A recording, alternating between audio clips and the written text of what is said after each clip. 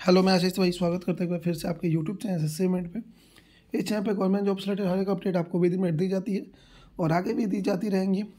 आप video section में जाकर देख सकते हैं कि चैनल पे कोई भी अपडेट होता है, एक से डेढ़ मिनट में आपको दी जाती है। फिर आप चैनल को सब्सक्राइब कीजिएगा वीडियो को लाइक कीजिएगा, ताकि कोई वीडियो अपडेट मिस ना हो। बात करते हैं पी का। तो पी का एग्ज़ाम आपको पंद्रह सोलह अक्टूबर को ख़त्म हुआ है, आपको पता ही है। उसके लिए उससे पहले एक अपडेट ये आ रही है कि जो पी हज़ार इक्कीस का पेपर हुआ था, जो पिछले साल हुआ था, वो उसकी वैलिडिटी बढ़ा दी गई है। आठ जनवरी दो हज़ार बाईस तक कर, आठ जनवरी दो हज़ार तेईस तक कर दी गई है सॉरी तो पहले ये वैलिडिटी सत्ताईस अक्टूबर तक मान्य थी, लेकिन अब आठ जनवरी दो हज़ार बाईस तक कर दी गई है, या पी ई दो हज़ार बाईस का परिणाम आने तक।